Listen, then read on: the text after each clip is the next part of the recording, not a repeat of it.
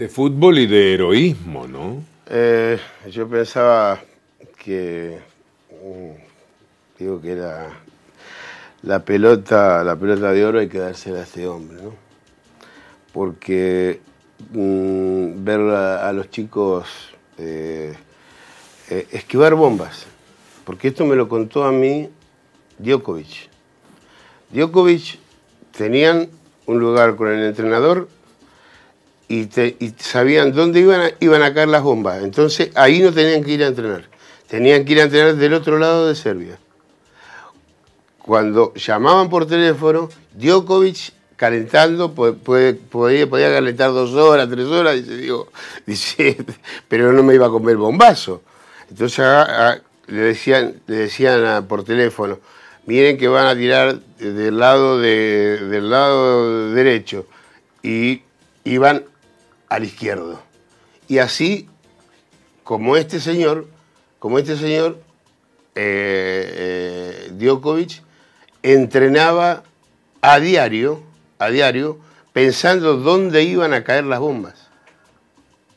Eh, por eso digo que hay, hay cosas que, a uno aún lo conmueven de, de esta guerra porque eh, el otro día Víctor Hugo eh, descubrieron una fosa de, de 5.000 muertos.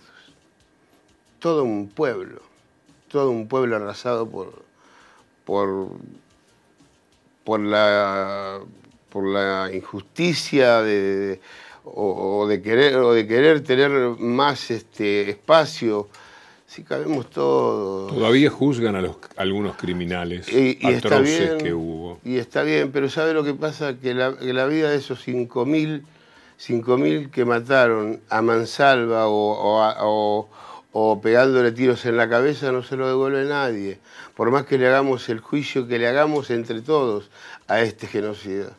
Sí, yo cuando muchacho estudiaba Yugoslavia como una unidad, era Tito, Tito era como una eh, especie de ídolo, era el que estaba entre el comunismo y el capitalismo y tenía mucha personalidad para manejarse con ellos. Muy fuerte con su sombrero, con, un, con una, gorra más que nada. Y todo aquello saltó por los aires, y, ¿no? Y sabe, Víctor Hugo, que yo fui a jugar con, con, el Barcelona a, a Sarajevo, a por, la, por la Copa UEFA. Eh, fue uno de los goles más lindos que, que, yo hice, porque arranqué de la mitad de la cancha, pasé por entre medio de dos, y lo vi al arquero, que el arquero tenía 1,98, Víctor Hugo hacía, hacía así, tocaba el travesaño. Y claro, como a mí se me corre la pelota para el costado, digo, patearle fuerte, este, este, este, así sale jugando. Entonces agarré y la piqué, por arriba, adentro. Ahora Yugoslavia son siete naciones. Siete naciones. Un poco de nostalgia de eso que hablábamos de Tito. Y una de esas, Croacia, juega la semifinal mañana con Inglaterra. Sí, señor. ¿Le ve alguna chance a Croacia? Sí. sí. ¿Por qué no? ¿Por qué no? Porque creo que se... Ese Modric. ese Modric. Desde Pirlo, que yo no veo un tipo... Yo, yo, creo, yo creo que es igual a Pirlo.